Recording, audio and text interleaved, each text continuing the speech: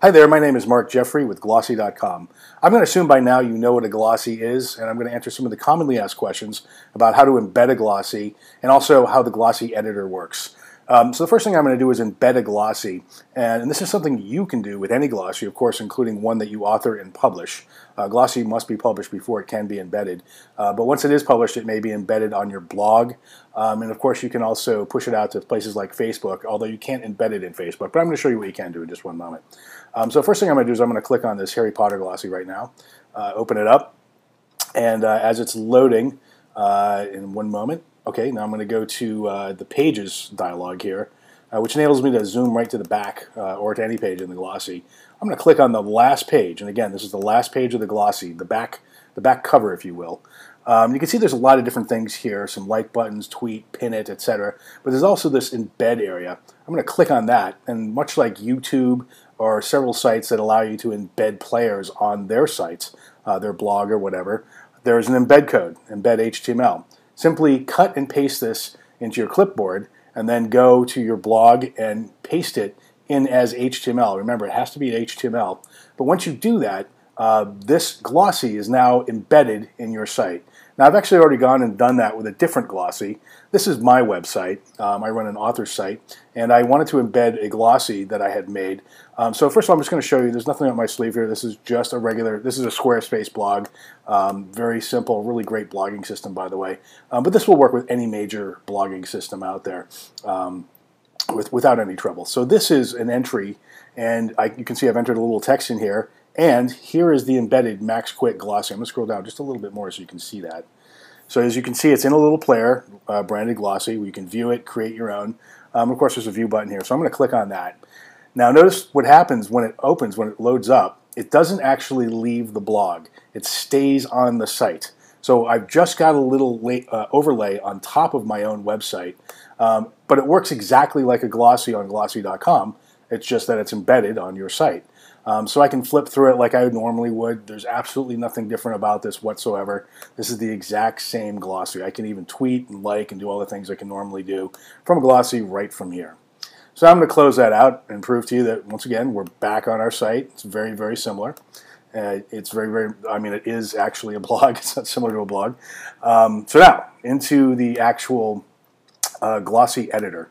I'm going to show you a few things that you may not be aware of.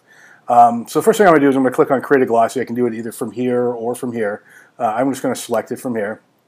And the Glossi editor opens up, and at first it opens up with absolutely nothing in it. It's totally empty. Um, and over here on the left, these are the pages. We start you off with a few pages. Um, if you click on any of these, they're actually thumbnails of the page. You'll notice over here in the canvas area, the canvas area changes to allow you to directly edit whatever page you're working on. So first I'm going to work on my on my title here, or sorry, my cover and the title, of course. Um, and these are these are clippings, and clippings are the media that you have uploaded previously, um, which I'm not going to actually cover here, but just to, you can use this upload button here to upload this media. Um, typically, it's images right now. Um, these are the images that you would have uploaded previously. And of course, anything you have in your clippings, you can just drag and drop onto any area of the screen that's enabled for images. Um, on the cover, of course, the entire area is enabled for images, and then you have these four text box here, text boxes here, um, which enable you to enter a title and do something. So I'm going to show you some of the basics of how to use this. Um, so when you when you click in here, um, basically you can change some of the characteristics of the, the fonts, uh, this the the actual font that you're using. So I'm just going to actually change this to Bebas Neue.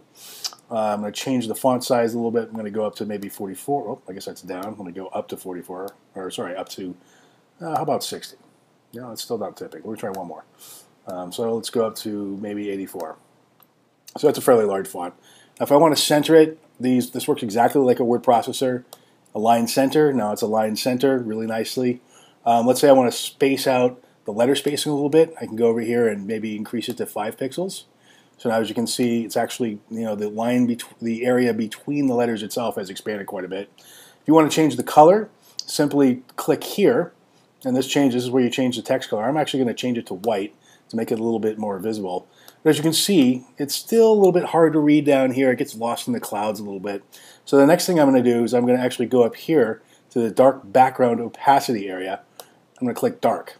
That enables, that puts kind of like a sunglass lens underneath it but really what it makes it do, what it makes happen is it makes the text pop out a little bit from the area in the background. It's really useful for when the photograph that you're on top of, there's a lot of wide range of color variation as there is obviously when you're looking through a very darkened doorway out into a very spacious lighted area.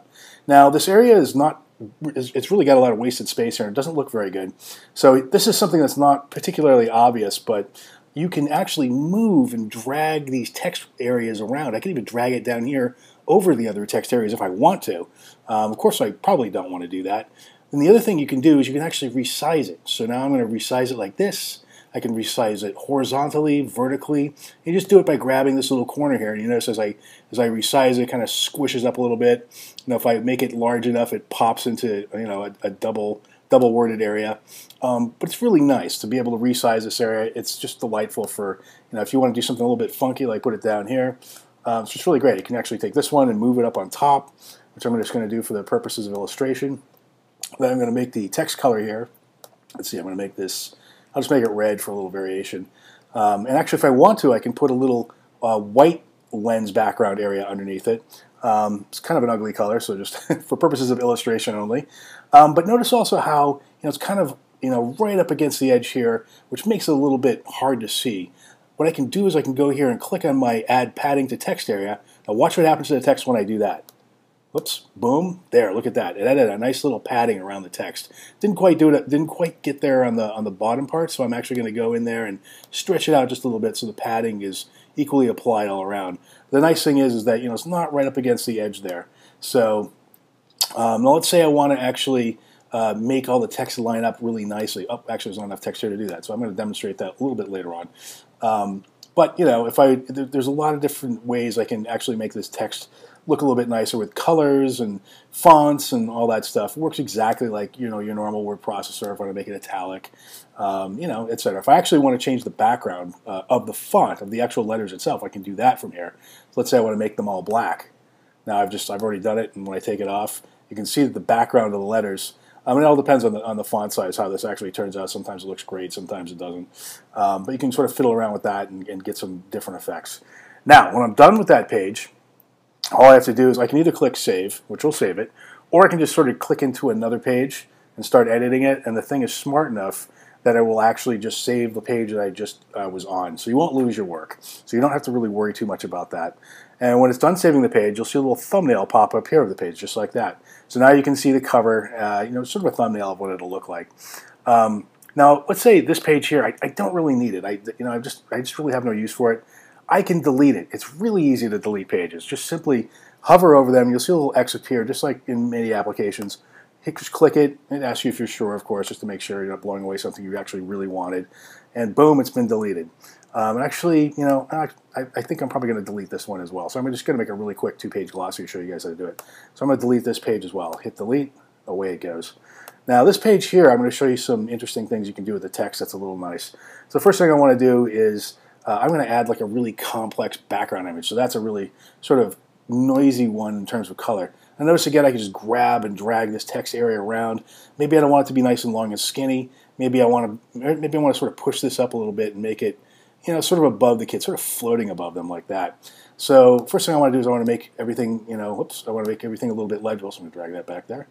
Um, and by the way, if I click on the image, the image can be resized too, just with this image slider right here. And of course, I can also grab the image and move it around as well and sort of adjust it, you know, exactly the way I want it. So I'm just going to put it right there. Um, I'm clicking in the text box again, um, highlight the text so I can change the color.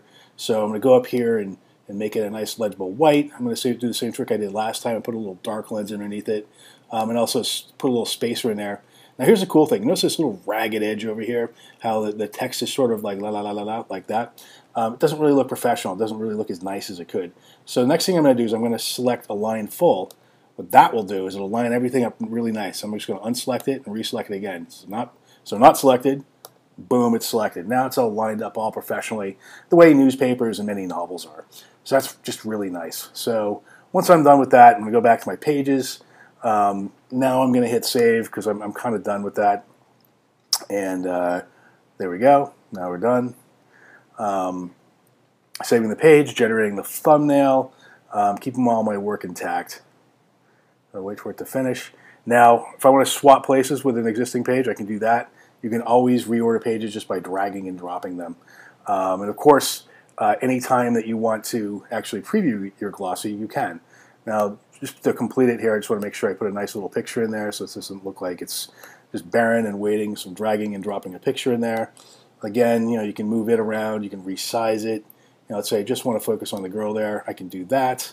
Uh, I'm not going to fool around with the text anymore other than just to move this one up here just to show you once again and emphasize the fact that you can move this around. You can, you know, resize this corner here. Just really nice. There's all kinds of really cool things you can do. Put it over here so it's not just quite right on our head.